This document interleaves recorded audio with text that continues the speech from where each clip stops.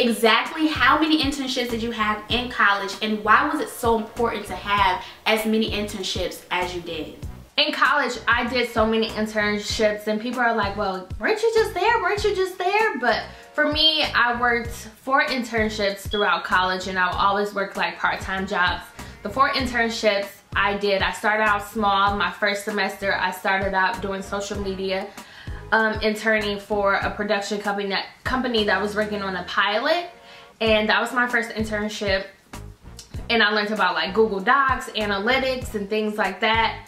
The second job I had was I worked at After Dark Films. I was a general intern, so I ran errands, I made coffee, I stocked up the fridge, I went to the mall. Like I did so many like generic general intern interning for the company, binding and things like that.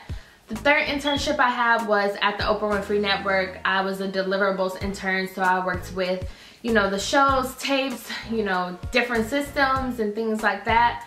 My last internship before I graduated, I interned at TMZ. I was the intern for TooFab.com, so I did a lot of writing for TooFab.com and it was absolutely amazing. And all my internships, I really wanted to start out small and get bigger throughout you know, my college years. I went to school for four years, so every year I had an internship. And I feel like internships are very important and getting mentors is extremely important because it helps you in your career it helps you learn. It's the knowledge. I feel like knowledge is key. And i think it whatever it is you want to do in life you know just you have to have knowledge. You have to be able to learn every aspect of whatever it is that you want to do. So i have my degree in filmmaking. So i wanted to learn the pre-production side the production side the administrative side. Like I wanted to learn everything when it came to film and that's what I did and I feel like internships are truly important.